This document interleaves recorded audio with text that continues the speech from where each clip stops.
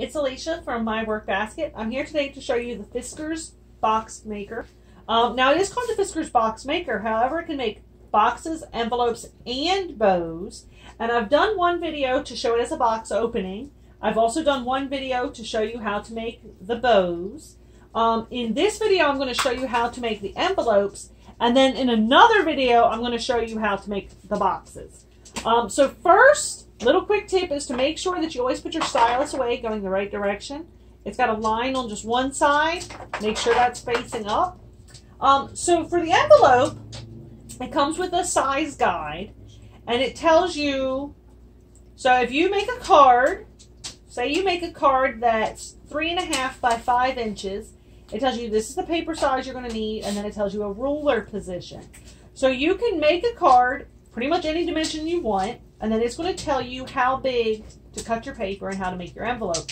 And you can do it, you can see here all of these little ones and this whole side, those are all envelopes.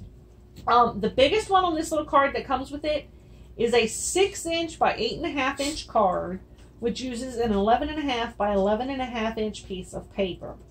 So um, I, what I did today is I actually just cut a seven and a half inch square and so I'm going to make a four and a half by four and a half inch envelope, just for the sake of demonstration, because it uses a seven and a half inch square. Um, I do find the square envelopes to be a little bit easier to make. Here's a sample. Um, here's another sample of just a square envelope. Both of these were made with about a seven and a half by, these were eight and a half inch square paper. You can also make rectangular envelopes. Um, I love how this one got the diagonal pattern going.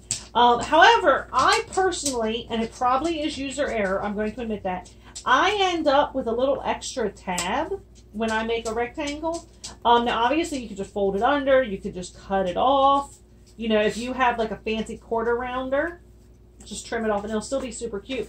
But that happens to me whenever I make rectangular envelopes, and I didn't actually even glue this one down. But I do love the envelopes that it makes. I love how easy they are to make. And so I'm going to get started. So it tells me that for my seven and a half inch paper, my ruler position is going to be three and three fourths. So I'm going to come across here. I'm going to pull out my stylus. So three and three fourths, all the dimensions are clearly marked. I'm going to come to it here.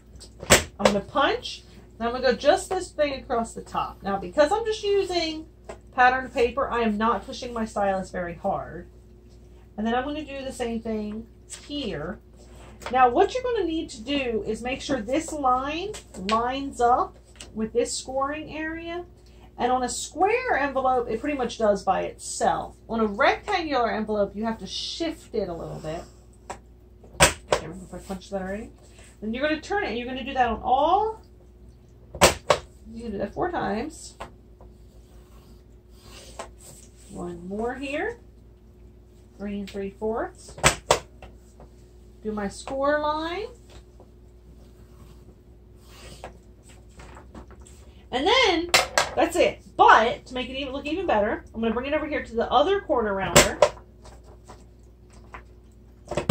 I'm going to round all my corners. And then if you just fold up your score lines,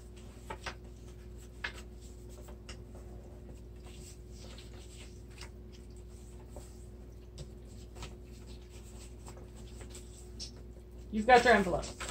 Now all you have to do is fold these. I'm going to bring out my little glue pen, a little dot to hold that over. Up there to hold the bottom flat.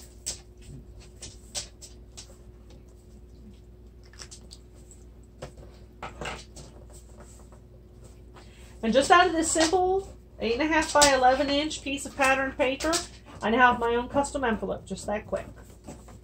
So again, this is the Fiskars box cutter.